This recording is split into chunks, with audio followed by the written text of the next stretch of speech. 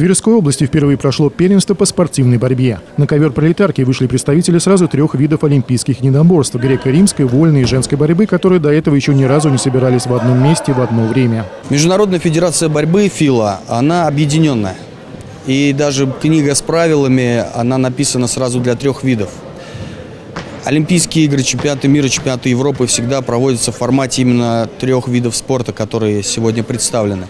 Мы решили пойти на эксперимент в этом году и объединили три вида, сделали формат, приближенный к международным соревнованиям. Твери проводили соревнования областные. За медали регионального комитета по спорту спорили юноши и девушки, юниоры и юниорки. Всего турнир собрал более 160 спортсменов из 14 городов и районов. Поединки по разным видам борьбы проходили параллельно на двух коврах пролетарки. Мне очень понравилась греко борьба. Там тоже очень напорный и жесткий вид спорта. Вот.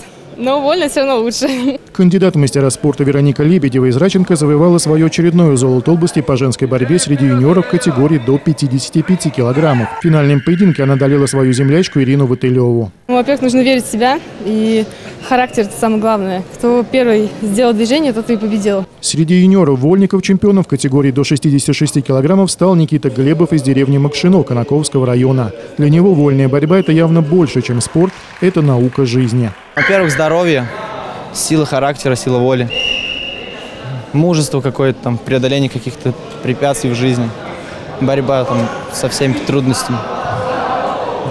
Все вроде. Не менее увлекательно проходили поединки и по греко-римской борьбе. К тому же здесь конкуренция была посерьезней. Тверичанину Степану Зарубину, чтобы стать первым среди юниоров в весе до 66 килограммов, пришлось взять верх над четырьмя соперниками. Пришлось побороться. Вторая, как бы, ну, вторая встреча была тяжелая, потому что там был, ну, как бы, ну, один из сильнейших борцов в моем весе, вот, ну, опытный тоже. Вот. Ну, а остальные схватки так, ну, нормально прошел. Ничего особенного. Вместе с медалями, дипломами и подарками от спонсоров все призеры получили путевки в состав сборных команд области. Теперь их ждет выступление на первенствах Центрального федерального округа. А эксперимент по проведению региональных соревнований по спортивной борьбе признан удачным и полезным. Теперь такие первенства и чемпионаты, скорее всего, станут традиционными на территории области. Вы знаете, я был сам одним из сторонников э, этого объединения, потому что этот вопрос э, впервые поднимался еще летом. И при поддержке областного спортивного комитета мы все-таки решились вот на этот шаг и провести такое, такие соревнования. Они интересны в плане того, что у нас очень близкие виды спорта, у нас даже правила, а, они, в общем-то, одинаковые, с небольшими расхождениями. Ну и чтобы э, как бы было, были моменты какой-то дружбы все-таки между родственными видами спорта, и чтобы этот спорт больше развивался, чтобы мы приобретали какой-то опыт друг у друга. Я думаю, что э, эти соревнования вот именно в этом плане очень актуальны.